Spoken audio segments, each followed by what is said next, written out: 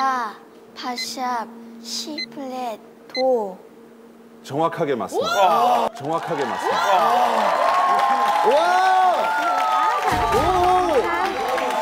이게 지휘자님 상식 수준이라면 일단 이게 이해도 해서도 안 되고 납득도 안 되는 일들인 거죠.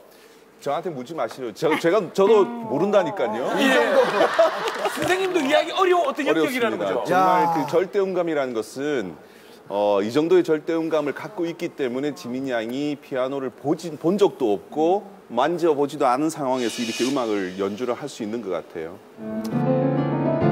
이제 뭐 나다 빠빠빠빠 따리라리랄라 정말 근데 믿기지가 않아요. 보고 있는데도 어떻게 네. 보지 않고도 음을 정확히 찍는지가 굉장히 궁금해요. 이게 가능한 건지 원래. 제가 이제 몇 마디 한 네 마디 정도 아니면 네. 여덟 마디 정도 이렇게 앞서 쳐주고 그다음에 그대로 따라치고 대신 이제 제 손등에다가 손을 얹어서 그 음악적인 느낌들을 같이 가는 거죠.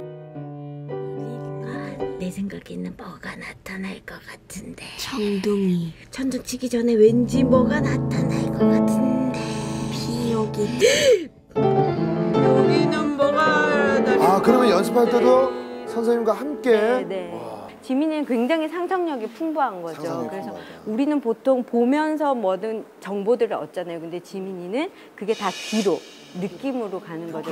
지민이 여태까지 연주했던 것들을 다 외우고 있는 거죠. 그렇죠. 지민이는 굉장히 머리에 안에 저장된 악보들이 굉장히 아니 많죠. 지민이는 무슨 소리를 제일 좋아해? 어, 여러 가지 동물 소리, 주변의 소리들을 다 좋아하는데요. 특히 네. 새 소리를 굉장히 좋아하는 새소리 그러면 이- 그 즉흥적으로 이게 새, 새에 대한 느낌이 있을 거 아닙니까?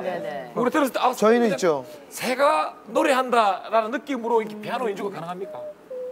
가능할 것 같은데요. 어. 네, 한번 그럼 들려주세요. 이건 뻐꾸기예요. 아, 요번에 들려드릴 거는 뻐꾸기 소리래요. 뻐꾸기가 노래하는 거예요. 네. 네.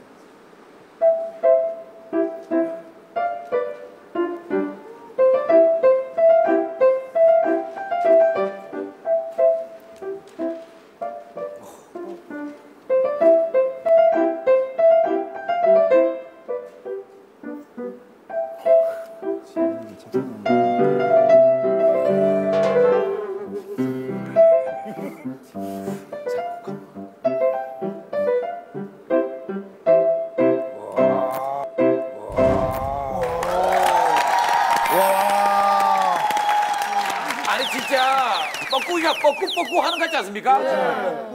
근데 이게 뭐 다른 있는 멜로디에 그냥 그 뻐꾸만 집어넣은 거예요? 전혀 아니에요. 지민이가 그 뻑국 이런 느낌이 지금 뻑빠 이런 느낌을 가지고 지금 자꾸 자꾸 그 모티브를 가지고 발전을 시킨 거죠. 자꾸 그 자기가 혼자 스스로 다 만들어낸 거예요? 네네.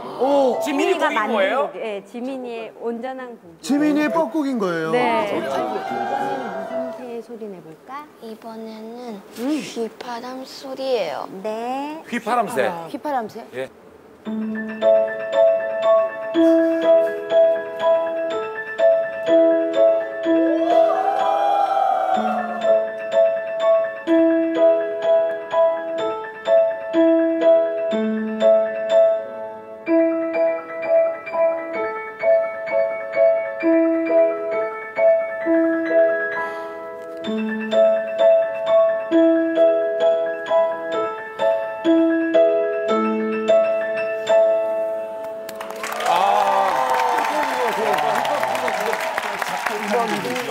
아 진짜 선생님 이게 이 감독이 너무 너무 너무 놀라고도 눈물이 나네요. 네, 전 정말 너무 놀라운데요. 경이로우니까 우리 혹시 지민이에게 요- 요번에 지민아, 지금 강호동 아저씨 같은 소리 한번 내볼까? 강호동 아저씨를 표현해.